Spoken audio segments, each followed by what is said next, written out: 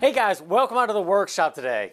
As you can see, I've got my bookcase in the back just standing still right now. It's a little bit too cold outside to be trying to glue anything up. So I've got a couple of orders of holdfasts I need to forge out this week. And I really want to start using that little anvil that I got for rounding over the tops of the holdfasts. After disassembling all of my workbench, I have all sorts of 2x6s and 2x10s that I have just sitting around. I was going to use them for the French cleat on the wall, but instead I think I'm going to use them and make an anvil stand.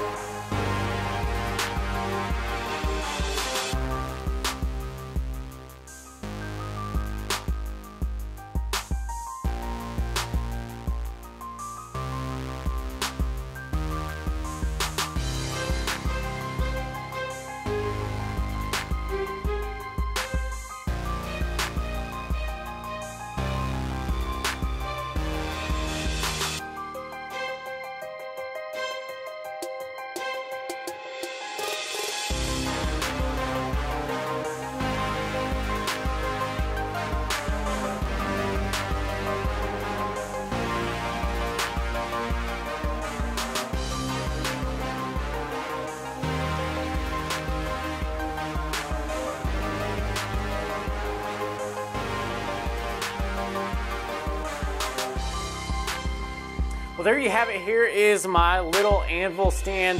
If I do get a bigger anvil, I can add on either way and really expand this thing into a big block. One thing that I really want to do is try to come up with some kind of holders for uh, hammers and things like that, just little side pieces that I want to keep close by. This one's going to be staying inside the shop, but it is light enough that if I do need to move it outside, I can go ahead and just pick it right up and take it outside next to the forge. Hopefully soon I'll be building a gas forge though that I can actually keep in here in the shop and just mainly do everything in here, not have to worry about the forge outside too much unless I get bigger products. So thanks for joining me today. I had an awesome time building this and it was really simple to make, just cutting up some 2x6s, checking my height to see what I needed to do, and then subtracting the height off of the anvil and constructing it up with some pocket hole screws and then screwing everything in a laminate design together.